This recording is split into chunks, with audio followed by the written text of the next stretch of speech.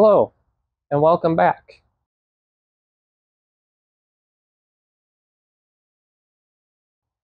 We just got the engine block back from the machine shop, and I'm going to get it unloaded from my truck. It's drizzling out here, so I'm going to try to do this as quickly as possible.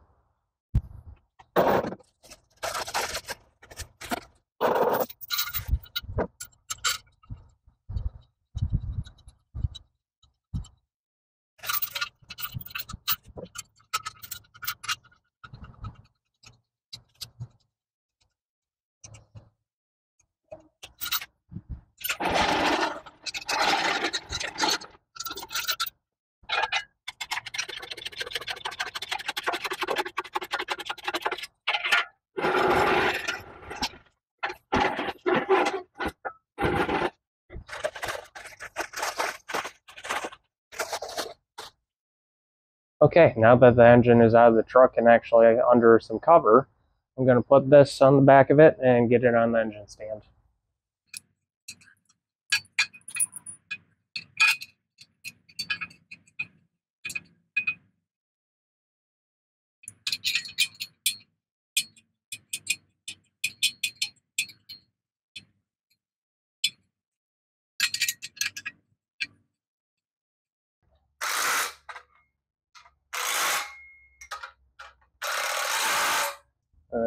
Right, now just slip this onto the back here.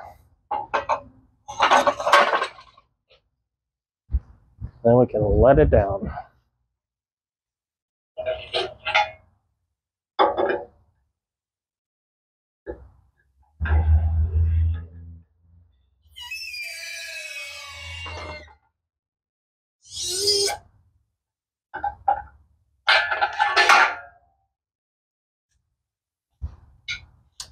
And there it is.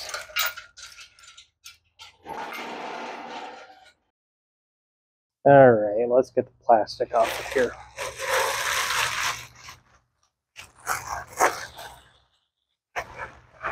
And this doesn't look too bad. I will say that when I went to go pick this up, and one thing you should be aware of too, if you ever have this done, the bolts right here that hold the main caps in, this one was missing. I know when I took it there, it was present. This basically holds the oil pickup tube in the oil pan. There's a little, it looks like this, but it's got a little stud on it. This is what it looks like right here. So this would go right here.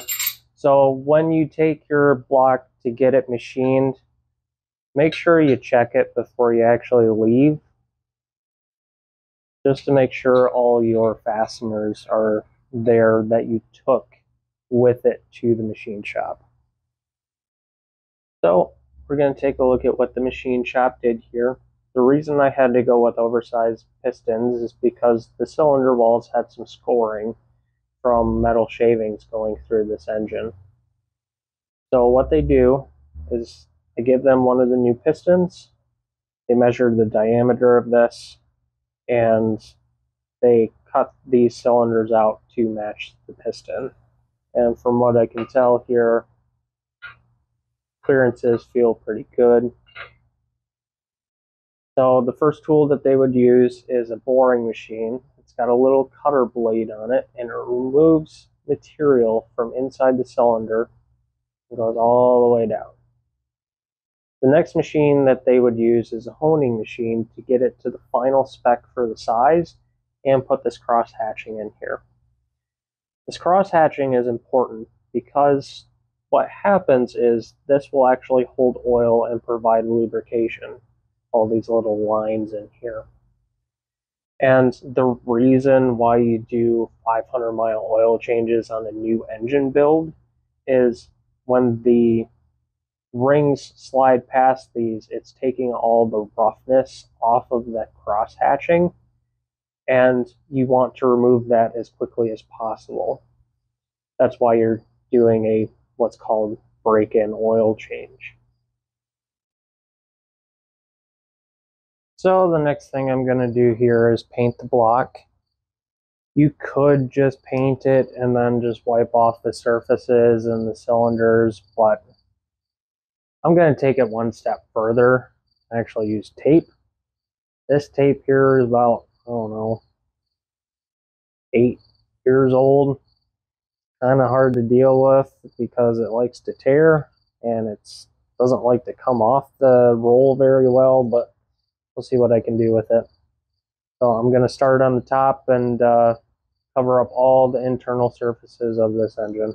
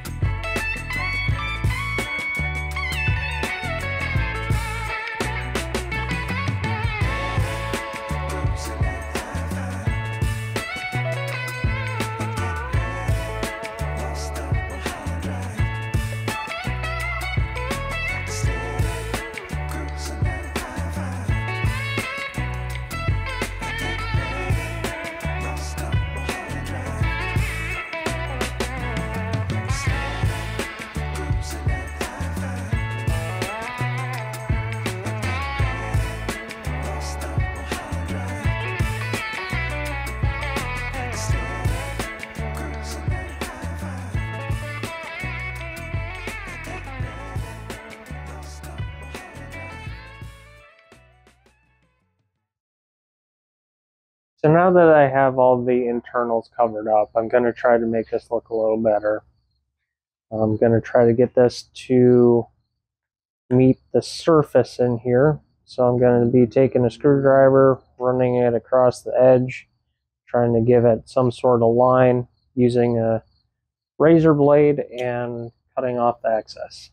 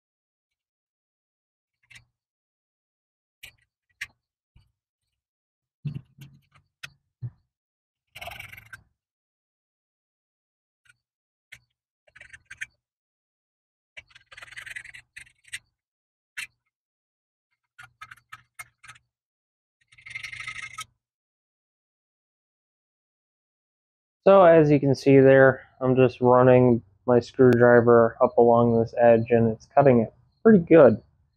So I'm going to continue to all the other sides and uh, make it look like this.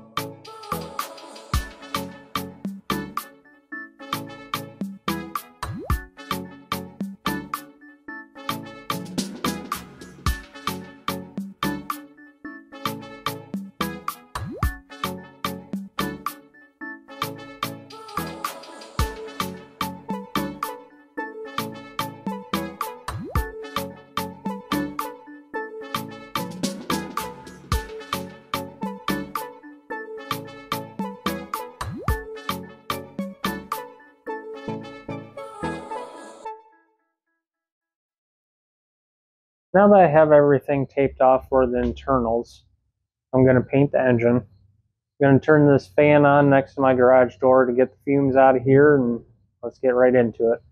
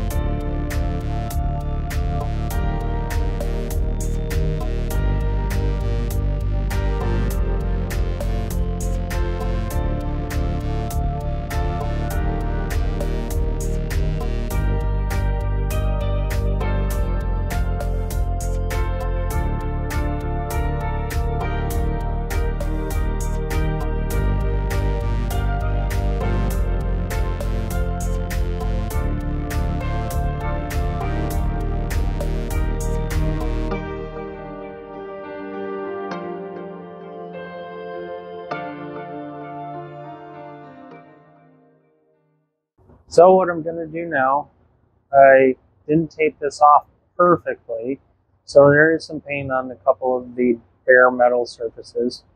The way you can get that off is if you take a cloth and some acetone, which I put some acetone in this already, uh, just wipe everything down and that'll get that, that paint off.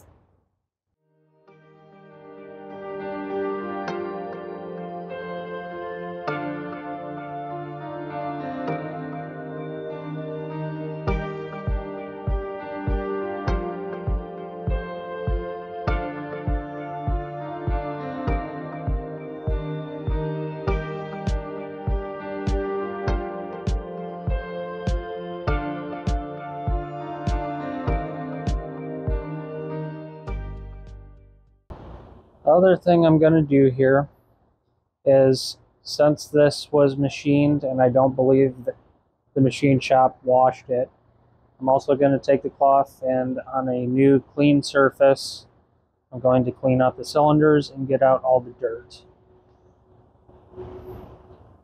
This could make or break an engine. You want a new engine build to be as clean as possible.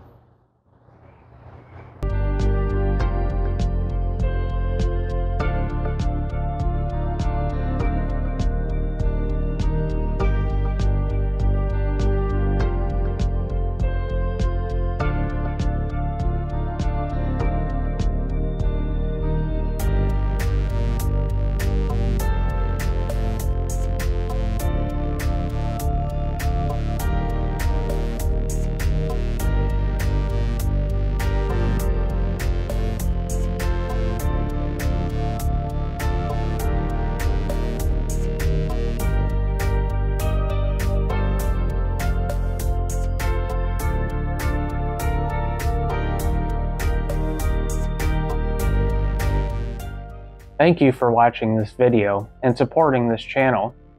If you enjoy this content, please give me a like and subscribe. If you have any questions, leave the question down in the comments below. And on the next one, I'll be installing freeze plugs on the engine block, so stay tuned.